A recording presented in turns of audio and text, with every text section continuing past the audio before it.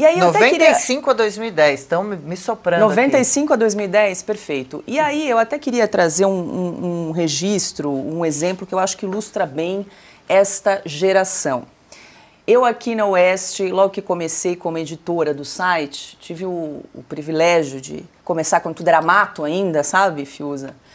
E... Eu já ouvi falar que você foi a primeira funcionária pois da Pois é, Crachá 01, é. que tudo era mato. Olha. Bacana. E um desafio enorme para contratar jornalistas, né? Um grande desafio. E tínhamos uma equipe muito pequena. E eu lembro que na época nós uh, lançamos em plena pandemia de Covid-19, então um desafio ainda maior. Contratava, falava com as pessoas por telefone, contratei muita gente sem conhecer. Só conheci depois quando voltamos aqui para o escritório.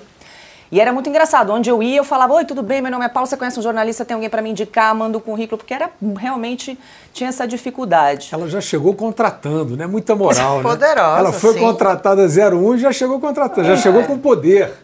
Então. Menina é um furacão. E aí, eu lembro que recebi um currículo, estou contando tudo isso, era um menino de 22 anos, estamos falando aí da bem geração Z, recém-formado em jornalismo. É, devia ser por volta de umas 7 horas da noite, eu estava trabalhando em casa, plena pandemia, todos confinados. Uh, acho que eu devia estar umas 10 horas sentada já, trabalhando. E eu mandei uma mensagem para o menino, falei, fulano, boa hora para conversar? Sou a Paula, da Oeste, me identifiquei, recebi seu currículo, boa hora para a gente conversar?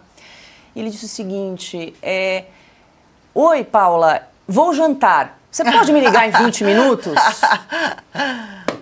Que muito bom. Aí eu falei assim, eu falei assim, vou dar ainda o benefício da dúvida. Vai que o menino trabalhou também o dia inteiro, está faminto, né? E eu, eu sou uma pessoa que quando tenho fome também não processo muito bem. Eu falei, vou dar o benefício da dúvida. Pô, ele podia ter te pedido uma hora, ele pediu 20, 20 minutos. minutos. Já é alguma coisa a Mas aí, eu, aí eu, eu respirei, fiz a seguinte pergunta para ele.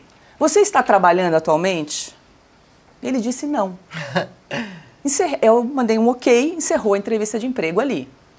Claro. É, porque ele porque escuta, que ele escuta, tem olha ser... o senso de urgência de é. uma pessoa desempregada. Você tem que se adequar a ele. Que está desempregada é. para um cargo de jornalista. Você imagina que cai um acidente aéreo, eu ligo para ele e falo, fulano, vai lá cobrir o acidente aéreo, ele fala que precisa comer, precisa levar o, o cachorro para passear. Não dá. Não dá. Mas certamente era a mãe, né, que tinha feito o jantar e falou: você venha comer. Foi, e... foi muito assertivo, viu, Dri? Porque em uma pergunta eu resolvi a parada. Já disse tanto dele, né?